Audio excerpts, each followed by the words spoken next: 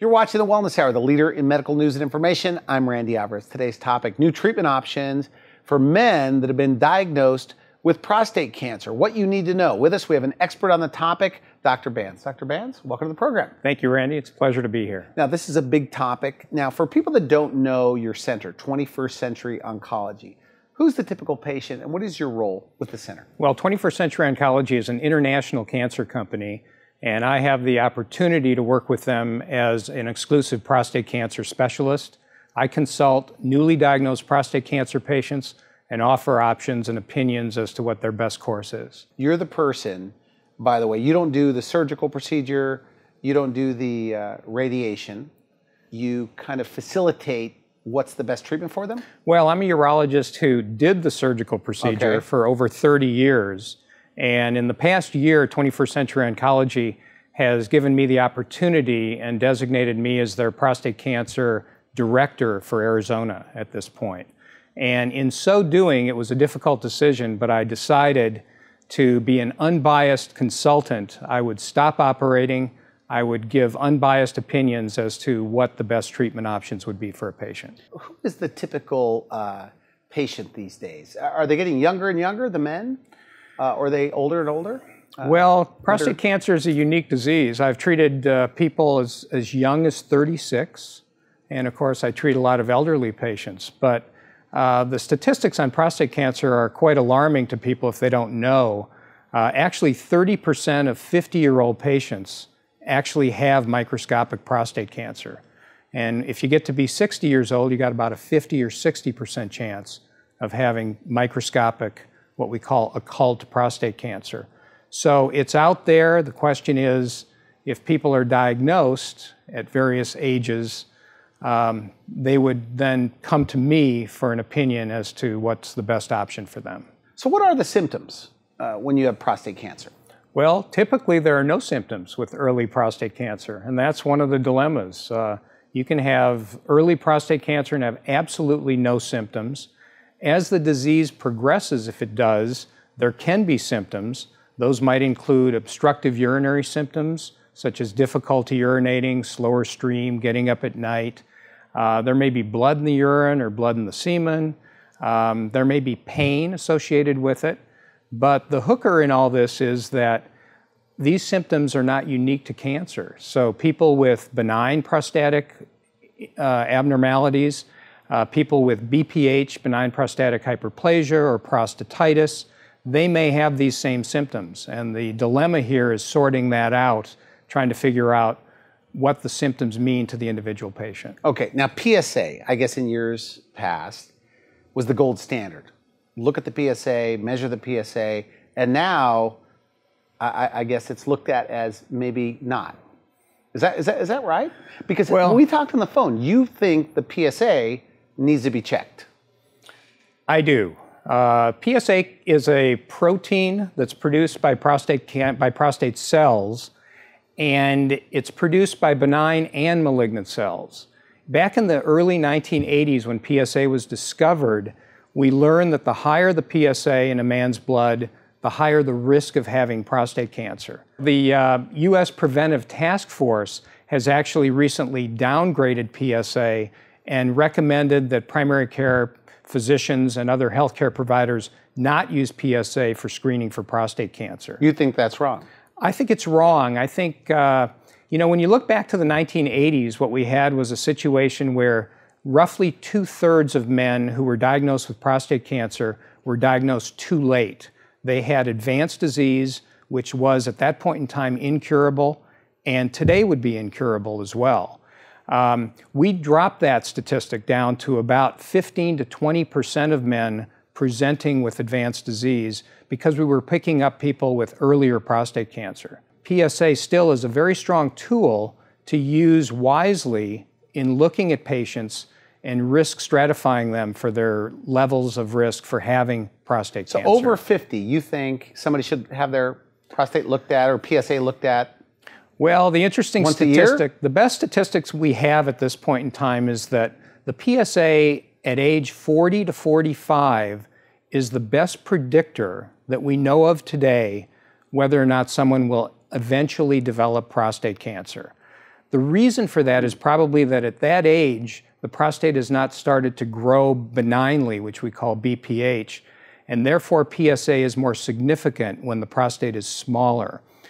So I actually am a believer that it would be helpful to know what a person's PSA was at age 40 to 45 and then risk stratify them. Now, in addition to PSA, which gets a lot of press, people need to be examined for prostate cancer, and that's called the digital rectal examination called DRE.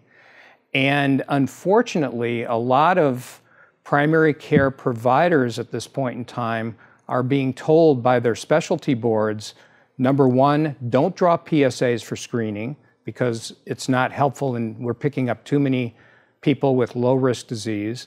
And number two, don't do examinations, don't do DREs. And I think that's a huge mistake. I think we're going to. And that's see, going on.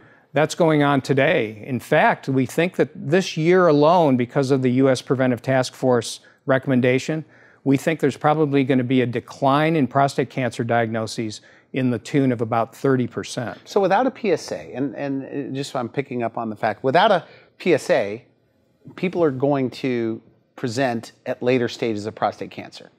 That's if you don't we, get a PSA. Is that what is well, going on? I, I think if you're not screened for prostate cancer, if you don't get a PSA and yeah. you don't get an examination, then you're going back to pre-PSA era and waiting gonna, for blood in the urine, waiting for waiting till a point where it's too late for a lot of men.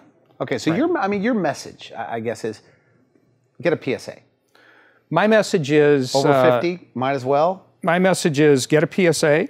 All right. Have a prostate examination, a DRE, and if men are not satisfied in speaking with their providers that these things are being done and they wish to pursue it more extensively, then I think they should go to a urologist and have those things checked. So beyond PSA, are there other tests?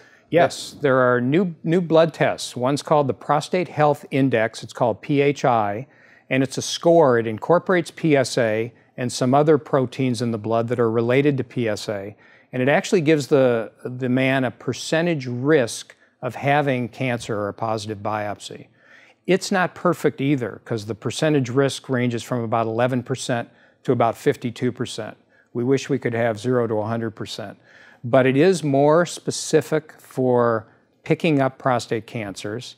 Uh, there's also a blood test that's, that's now out called the 4K score.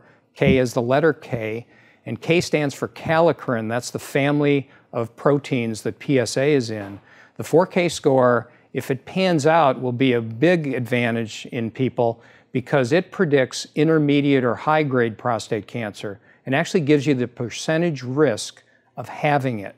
So these newer blood tests, I think, will be beneficial in terms of number one, diagnosing people earlier, but number two, hopefully not overdiagnosing or not putting men through unnecessary prostate biopsies. Okay, is that, a lot of that going on? Oh yeah, definitely. Okay. Now, how does somebody get to see you, a specialist? Because there's very few. I guess just very few in Arizona that this is all they do. Do they need a referral from their primary care physician? Uh, because you you only deal with people that they've already been diagnosed. They've been given a diagnosis, right? Right. So and this is a scary time. So how did they get to see you? Well, I have an existing practice of literally thousands of patients, many of whom have had prostate cancer. So I continue to care for them, continue to follow them, and make recommendations to them. But anyone can see me. I mean, you just make an appointment. They don't need a referral specifically. Uh, I would say about half of my patients are word of mouth from other patients. So if somebody has prostate cancer, they go to you. How do you determine treatment? What's best for them? Radiation, surgery, whatever. Yeah, so you have to individualize it. You have to look at the patient's disease. You have to look at what grade of cancer they have. Is it an aggressive cancer? Is it a slow growing cancer that's possibly not going to harm them. Um, and then you have to look at risk factors. Do they have a family history?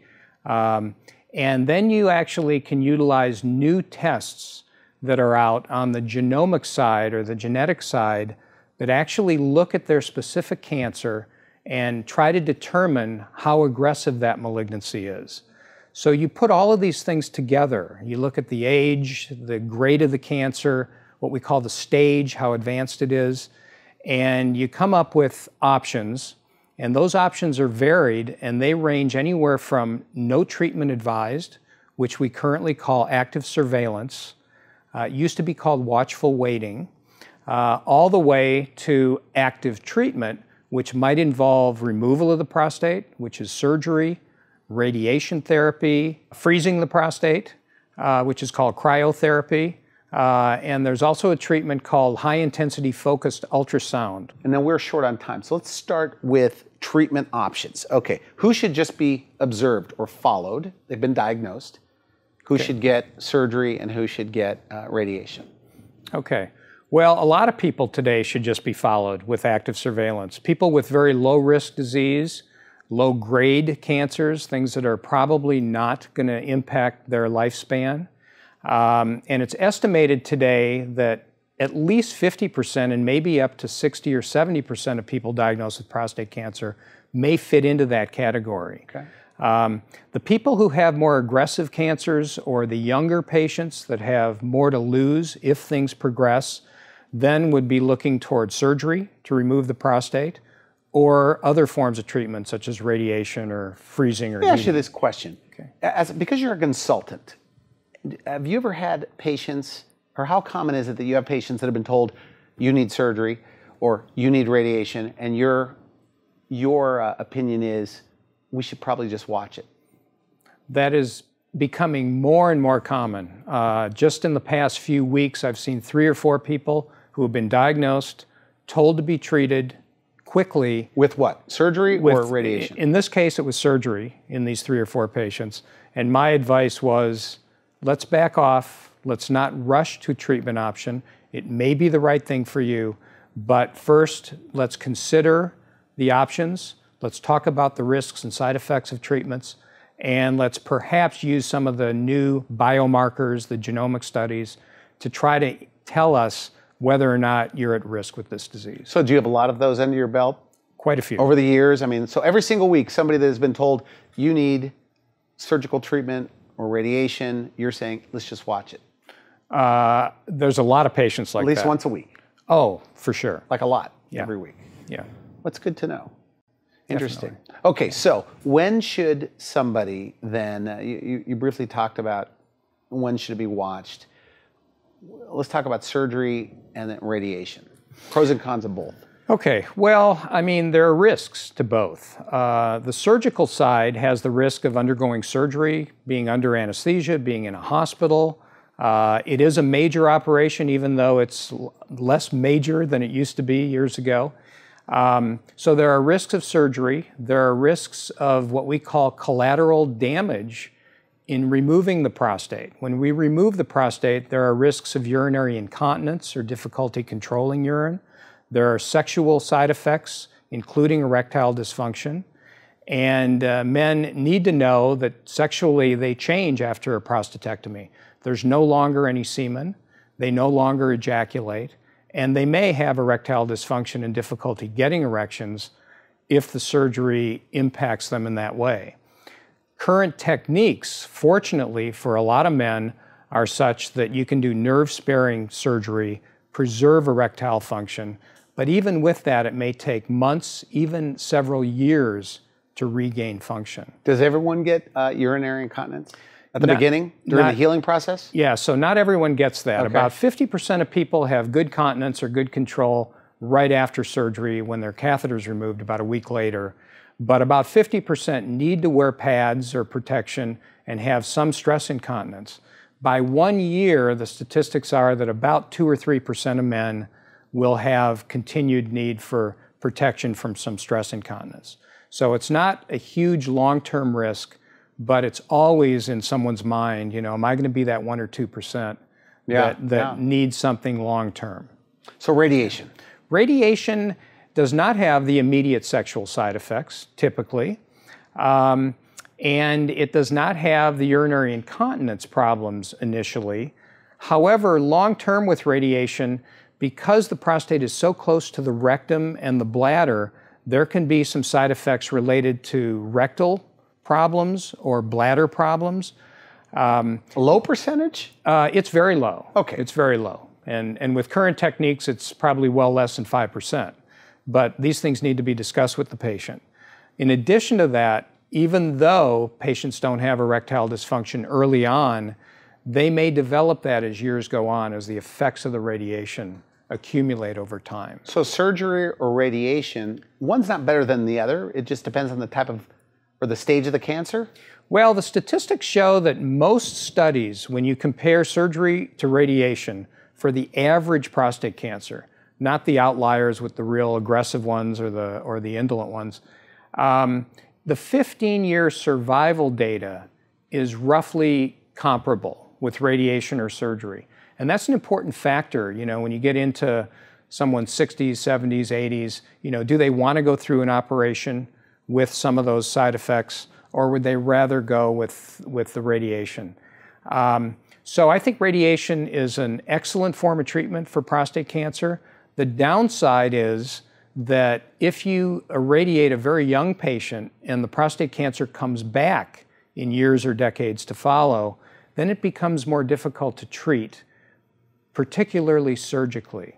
So there are there are some problems with what we call salvage radical So for surgery. younger people, radiation, you have to be careful. I think you have to be careful. Younger meaning in their 40s.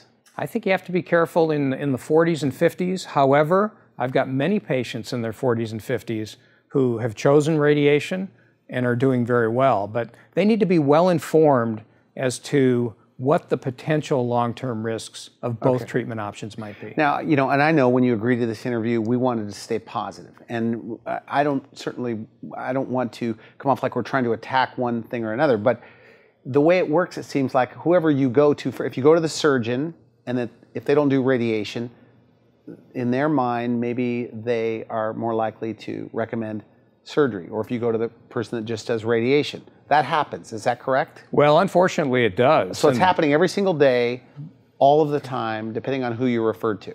Yes, and you know what it depends on. You know, when you look at surveys of radiation oncologists versus surgeons, you know the statistics are a little bit alarming. Up to 80 or 90 percent of surgeons recommend surgery.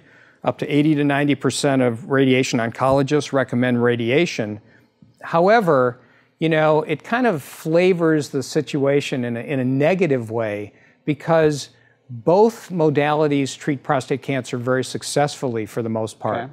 And, you know, in medicine, we tend to recommend what we do best yes. and what we believe in. And so, you know, I don't think it's, I don't think it's, as biased as it seems. I don't believe there's a conspiracy going on or anything right. like that. Right. I mean, they're doing what they think is best for the patient. So why not go to a consultant like you that could say, hey, I do both. Yeah. Even though you're literally not doing both, you're referring to both. Well, the first right? thing people should know is they don't have to rush into a decision. For most people, they can take weeks, months, sometimes even years to make a decision, depending on what their disease process is. So they've got time, and uh, I, I would like them to l- read, to talk to various consultants, and to talk to different specialists before they make a decision.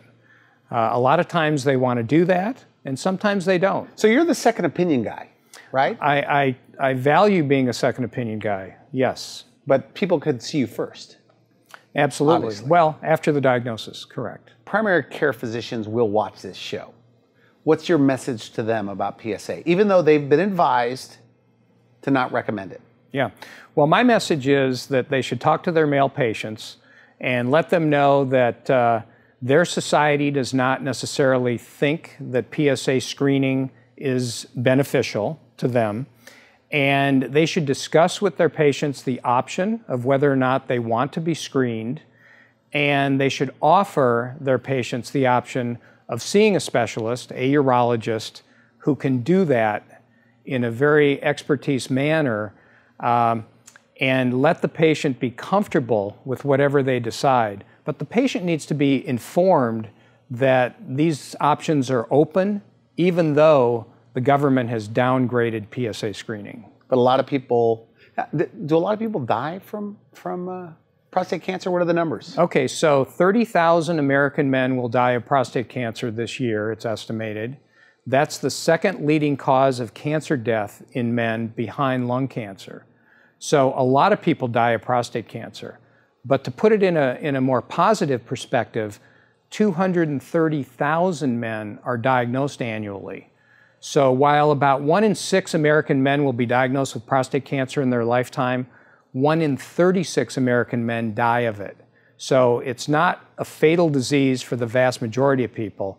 We want to pick up the people in that 30,000 before they become that statistic. But with the PSA going away, so to speak, people are getting, you know, picked up their cancer later, more advanced. That's so that's, it makes sense if you're 50 plus uh, to go in and you know maybe request a physical exam and request a PSA, and maybe if it's elevated, do it again in another month when it uh, when you're relaxed or Right. whatever. It, I mean, logically, it makes sense. Well, I should add that Covered the, by insurance. Why Yeah. not? Well, why not is the big question because uh, the concern with the U.S. Preventive Task Force is that there are a lot of biopsies that are done in this country because of elevated PSAs. There's risk to biopsies. There's a 1 or 2% chance of sepsis or severe life threatening infection. There are bleeding risks. So it, it, it's a mixed bag. I mean, we don't want to overdiagnose and put people through too many invasive procedures if they don't need them. But if you're watching it, you know, and it's up, and then you watch it six months later, it's up, and then a year later, it's up. Now it's time to probably take a look at it, right? Like Well- you did in your case, in your own yeah, personal. well, I think yeah, I think you have to see the expert. I think you have to see the urologist and let them discuss with you what they think your best option is at that point. Okay, good. Also, for, for uh, final message to the the person that has been told they've never had a second opinion, but they've been told you need surgery. They could see you say that they need a second opinion. Maybe they don't need surgery, and it happens every week in your office that people have been told they need surgery, and you say maybe not. Let's watch it, right? Correct. And you have followed them for years, and they're fine. Well, there are a lot of people I've followed for years with what we call active surveillance today. Um, but I think people need to know that there are risks in anything we choose in life. yeah. You know, active surveillance is not without some risk that the disease might progress and be caught too late. But I think you have to put the whole picture together. I think you have to inform patients what their options are, what their potential risks are on both sides. Um, and people are smart in in general. They want to make the right decision for themselves. There are some men who can live with that diagnosis, knowing that it may not harm them, and they're comfortable with that. There are other men where you give them a diagnosis of cancer, and the first thing they want to do is just treat it, get rid of it, whether it's radiation or surgery. And those people are much more comfortable long term having treated it. So it really depends a lot on the individual. So you're a well. doctor, they're in your office. We are really rushed on time here, about a minute left, but they're in your office and they must say, Doctor, what would you do if it was you? Do they ever say that? Al almost always. They either say that or uh, what would you recommend to your brother or your father or this thing. And uh, I give them my opinion. You know, I do mention though that I may be a little biased since I chose to be treated at a relatively young age. But uh, as far as being biased in terms of what their treatment options are at this point in time, that's history, and that's what the beauty of my consulting role is at this point. And you've been doing this 30 years plus. right. So you've seen a lot of kind of hardship cases, but also a lot of positive cases. So early detection, of course, beats everything, right? Well, the beauty of urology and prostate cancer is that there are a lot of positive outcomes. And the vast majority of people do well with prostate cancer. The vast majority, if they elect treatment, are cured. And that Good. makes my life happy. I want to thank you for coming to the show. Great stuff. We're out of time. Is there anything we missed in 30 seconds here? What haven't we talked about? Well, we missed some of the newer imaging studies, which are called multiparametric MRI scans, which are very important uh, in imaging prostate cancer. So that's something we didn't touch, but people need to be aware of that option, as well as the option of what's called focal therapy, where instead of treating the whole gland with radiation or with surgery, there's new modalities where we treat only the cancer, whether that's freezing or heating or focal radiation. So these are things we didn't cover, but they're out there and they're uh, for our next show. and you're one of the few guys in the state that all you do is prostate cancer. That's correct. Is that right? That's right. All right. Thanks again for coming to the Thank show. you. Great Thanks, stuff. Randy. You've been watching the Wellness Hour. I'm Randy Alvarez. For now, I wish you good health. Thanks for watching The Wellness Hour, the leader in medical news with your host, Randy Alvarez, the authority on health issues.